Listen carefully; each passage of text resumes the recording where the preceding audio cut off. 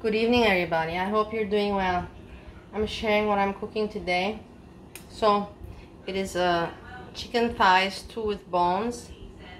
You can see also zucchini uh, chopped up.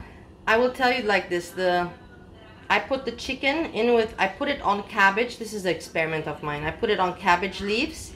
I oiled the, I oiled this, the pan. Then I put cabbage leaves.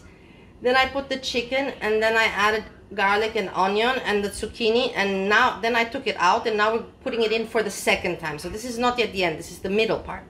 And now I added spices again. From the salsa I made yesterday it's fresh tomato salsa. I put some on top. And I spiced it up a little bit more what pepper salt. There's not much you should put in this because the flavors will go by them on their own.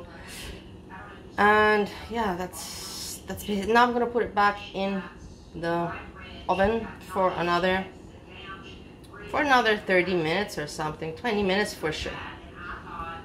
I hope hey did you guys hear that uh, hungry fat chick because Christmas is coming uh, she was making weight loss and she was having success with weight loss uh, with losing weight but her uh, views went down.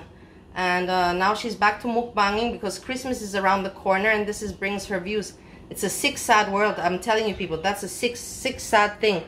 And she's admitting even. I don't. I, I didn't even watch her. I'm looking at some people reacting on her, and uh, it's really sad, huh, for somebody to say, "Yeah, I was losing weight, but I have to continue mukbanging and gaining weight and being unhealthy because I need the money and I need the views."